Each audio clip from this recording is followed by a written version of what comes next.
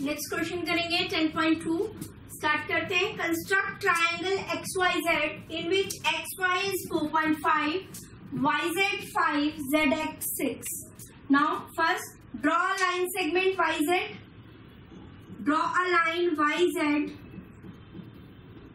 is is equals to 5 centimeter. Draw a line yz is equals to 5 centimeters. Now yx है 4.5 and zx है 6. With z as center, draw an arc of radius 6 centimeters with Z as center, draw an arc of radius 6 centimeters. Now with Y as center, draw an arc of radius 4.5 centimeter which intersects the first arc cut करेगी first arc को at point सा अभी देखते हैं। Z से 6 centimetre की arc लगाई compass open करके। Y से 4.5 सेंटीमीटर कंपास ओपन कीजिए।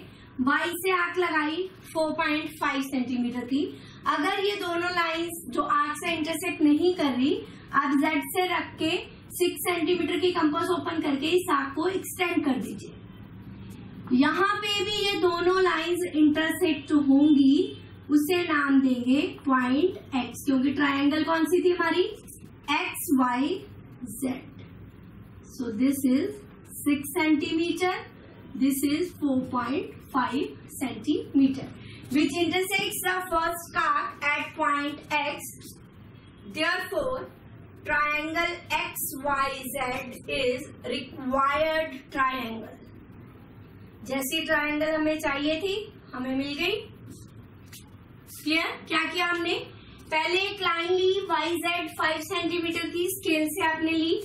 वाई पे कंपास रख के 4.5 सेंटीमीटर कंपास को ओपन कीजिए। वाई पे रख के एक arc six centimetre compass open करके जेड पे रख के दूसरी आर्क दोनों आर्क्स किसी एक पे इंटरसेक्ट करेंगी। अगर इंटरसेक्ट नहीं हो रही तो आप उस आर्क को एक्सटेंड करोगे, थोड़ा बड़ा करोगे तो कोई पॉइंट ऐसा होगा, यहाँ पे दोनों आर्क्स इंटरसेक्ट करेंगी। जहाँ पे भी दोनों आर्क्स इंटरसेक्ट कर रही हैं, हमने उस पॉइंट को नाम दे दिया एक्स तो एक्स वाई जेड ये हमारी रिक्वायर्ड ट्राइंगल आ गई। क्लियर नोट कीजिए।